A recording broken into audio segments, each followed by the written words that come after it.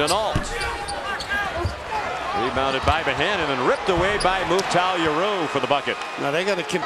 This Louisville team plays a lot of zone, but they'll match out of it. They go to man at the end of the clock. Oh, another good look there.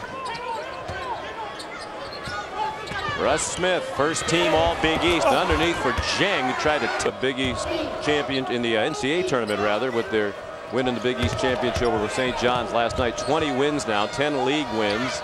That's usually a double that guarantees you a spot in the NCAA field. You know, nice rotation defensively. What a scramble by Villanova. And Yarou wound up with it. Nice having the big guy in the back, too, to assist.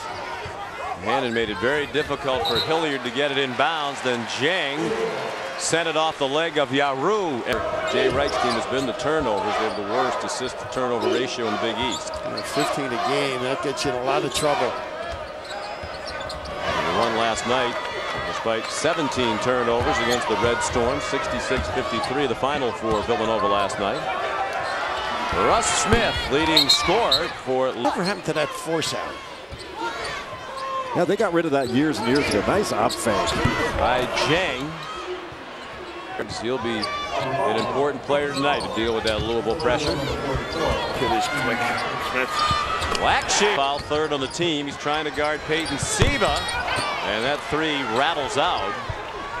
Siva's a Siva using a Dieng screen. Dieng from the free throw line. A little bit long.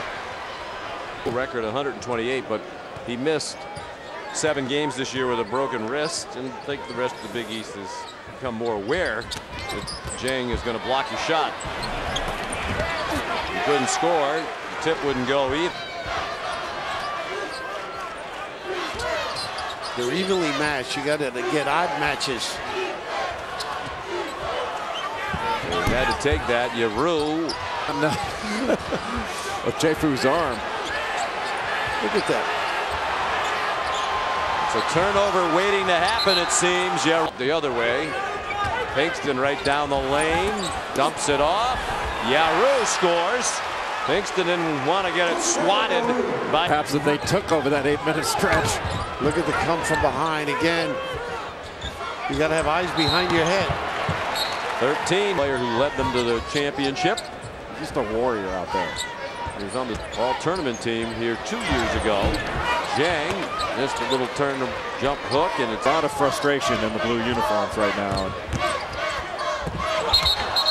And then Smith traveled. Look at this pass. Yep. They got away with it. They sure did. They're very fortunate that they did. Yarou off the setup from Pinkston. That More those towels. He said go to St. Luke's Hospital get some treatment. Well, Jay was funny we talked about during that workout today in the ballroom. A couple of the players kept dropping the towels, which didn't uh, check instill out. much confidence in this country from Africa for a chance to play college basketball. Boy, have they both taken advantage of it. Jang, nicely done. The heated exchanges in languages, and the refs would know if there's woofing going on or not. Taunting. Well, that, that was a good shot he just missed. But Louisville's offense throughout the course of this game has not been good at all. They should have been way up at halftime. And if you're relying on hold the team to 24 points. Wow, great effort by Yarou after he threw a bad pass. He barely do. Arcidiacono off the bell, missed a three. Nice. Yarou on the offensive glass. Nice, nice rebound. Tip to himself. Good gather. Smith left alone at the. Duke got this big guy back and he scores 36 points, you know, so they can win. And even Carolina started playing at the end of the season. You know, they're sort of a sleeper team. That, that we'll know. All I know is I think you could come on on ESPN and break it down for us on Selection Sunday. Well, I don't know about that, but I, I love basketball and I like what we're seeing. Pinkston seems to do that a lot. You know, he gets to the rim and then the shot's kind of jammed underneath the rim. Hilliard to miss. He worked hard to keep it alive for Yarou. He threw it at the feet of Chennault.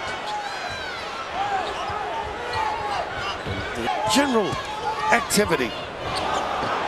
Chennault underneath for Yarou, altered by Dieng.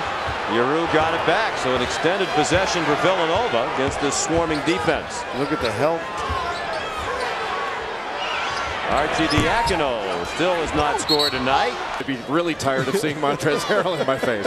Switch to a 6'10 guy. Lob to Behanan, and he got shoved. by- They did a great job of concentrating through that contact as he was releasing the ball. He does have a nice looking stroke, too, doesn't he? Count the bucket, and a chance for three for Mouphtaou Yarou. It takes a toll on your defense. Mm. It's so hard to keep guarding. Even Van Treese trying that rebounding activity. Yarou on Van Treese. Foul on a reach in by. He did well to get it back to Siva. Smart play. How often do guys try and dunk that when they don't have a chance? Exactly. Make his, here's that little brush screen lob. Good read. One bad lob Doesn't Steps there, maybe. They just rattle you. Yarou to the bucket. It went around the rim and out. Well, Joe Lunardi, as we mentioned, Guards really do a great job running people off. Pinkston underneath for Yarou. Harrell there and Van Treese. Villanova.